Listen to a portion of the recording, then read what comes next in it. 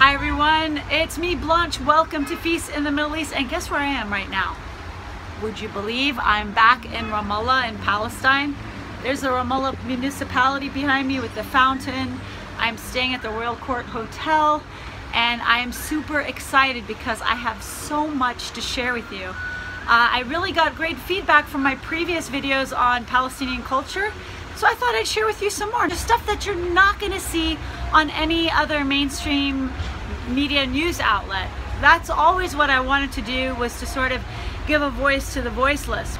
You know, just any culture out there that just doesn't really have much of a voice, I want to bring it to you because that's what I used to do as a journalist. So it's kind of fun to tap into that and bring that over to you via YouTube. So stay tuned guys, I've got way more to come.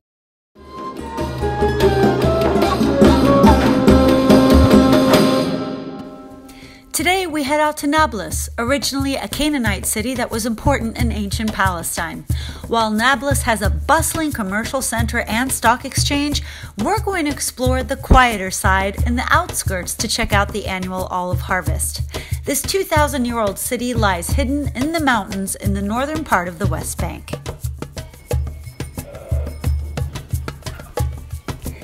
We were welcomed by a sweet Palestinian family with their goats, chickens, and donkeys in the picturesque mountains of Nusajbir.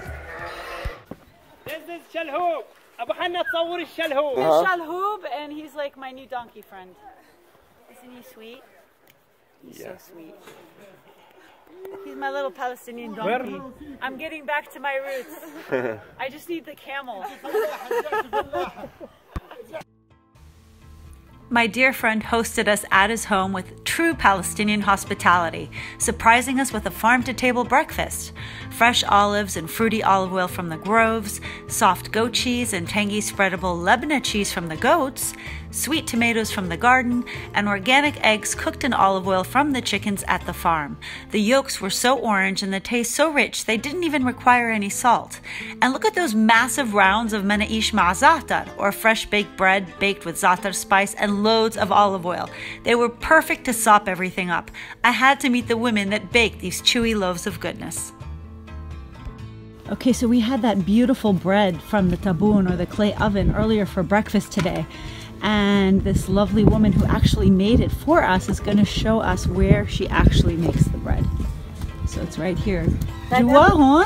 جوا اه ايوه شايفه ايوه شايف ها اه مم. هيك اه تحته آه، طب نعمل هيك وبنخبز هيك وشو شلون هون؟ وهون It's very hot in here. وبنغطيه Oh, okay, so she puts the شوية bread. شوية بنكيمه أها. وبنرد نسوي Oh, اه هسه بنطبخ هسه بدنا نطبخ حاليا فيه uh, uh. So she Ah. just puts it. She she does the dough and she puts it inside the oven and she waits and checks on it. It's really hot in here. I mean, the whole room is an oven يعني basically. دباسة آه، مثل ما قلتي محشي دوالي آه. بنحط فيه ب- كمان مقلوبة ومقلوبة كمان. الرز المفلفل So a lot of the dishes that I taught you guys how to make, she does them all and she puts them in that clay oven and it makes it taste a thousand times better. I wish I could have one of those in my house, but it'll probably be a, a serious fire hazard. It's nice that she has it here and it's a really uh, great little house here. They were playing Arabic music as they were harvesting the olives. So I'm going to show you a little flavor of what an arv- olive harvest looks like in Palestine. These beautiful women, they're all sisters-in-law and they came out here for the once a year olive harvest. And you have to understand these trees are like a member of the family. They're very old trees. They make the most incredible olive oil, and each olive is lovingly picked by these women and men. They get together, they have picnics out in the, outside in the beautiful area with all the trees. And it's just beautiful. Right now I'm I'm not helping them substantially with the olive harvest. But it is it is a lot of work. I mean here, look at these beautiful olives. It is a lot of work, but they make it fun. You know, they make it a family affair. They hang out together. They play music. They make food together, and it becomes a big thing that they look forward to once a year. And so when you buy Palestinian olive oil, you're not just buying just oil, you're buying the labor of beautiful women like this that have been working for days to make this into the bottles. So I highly recommend always support Palestinian olive oil. This is a beautiful art and you add the olive oil to any of your food and it'll enhance it in ways you would never imagined. Especially your hummus, uh, all of the recipes that I practice in my YouTube channel, just add Palestinian olive oil for that extra authentic touch. This is so special to me because this is the very first time I've ever seen an olive harvest in action and uh, I think I'm gonna remember this day for the rest of my life. I'm pretty emotional right now just just being with these women and feeling the love that they have for the land, for the trees and for each other. Nablus has some of the oldest olive groves in the world, some dating as far back as 1500 to 2000 years. Palestinians produce 15,000 to 30,000 tons of olive oil a year, providing for 70,000 families. They've also been making olive oil soap, which is a 1,000 year old tradition. Palestinians used to sell their olive oil to Israelis.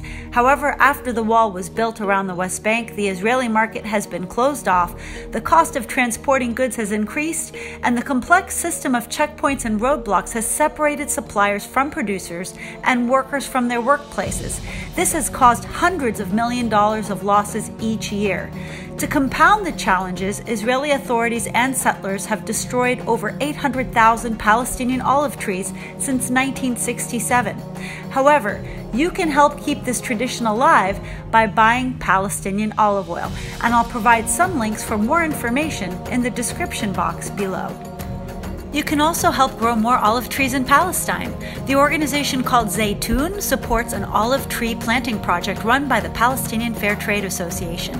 A small contribution of $25 or 20 pounds pays for five tree saplings. For more information, go to zaytoun.org slash plant a tree. After a fun olive picking afternoon, for some reason my sweet tooth was screaming for attention. But no better place for this to happen than in Nablus at Ajri Sweets. So I've talked about kanafa many times on my channel as you've seen, but this is the exact birthplace of kanafa. It's in Nablus and I've never had kanafa in Nablus before. So I'm incredibly excited to be here with all these sweets, guys. I'm gonna show you close-ups of the sweets and then we're gonna dig into the kanafa.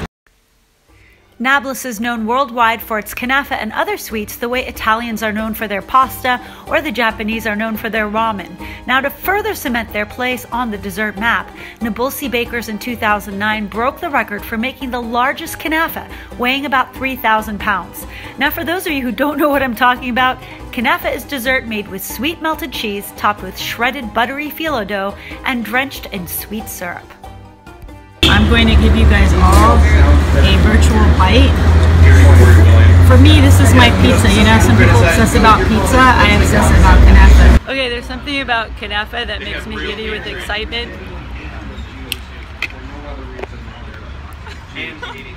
Oh my gosh! Mm.